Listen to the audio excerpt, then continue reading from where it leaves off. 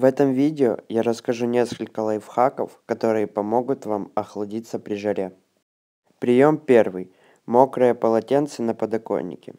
Просто откройте немножко окно и поставьте полотенце на подоконник. Это послужит для вас как натуральный кондиционер и поможет справиться с самыми жаркими ночами. Прием второй. Подушка в холодильнике. Подушка в холодильнике может позвучать странно, но это реально работает.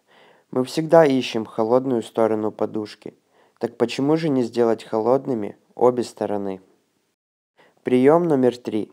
Ледяные кубики перед вентилятором. Если вы хотите, чтобы комната холодела, просто поставьте ледяные кубики перед вентилятором. Покиньте комнату на некоторое время. Вернитесь, и вы поймете разницу. Отключите вещи, излучающие тепло. Либо отключите, либо просто отстраните вещи, излучающие тепло, из комнаты.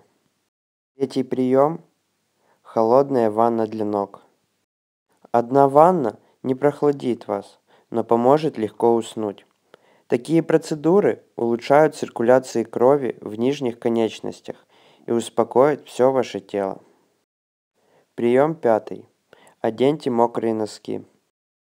Это может казаться абсурдно для вас, но попробуйте один раз, и вы сделаете это снова и снова. Удивление ждет вас, друзья.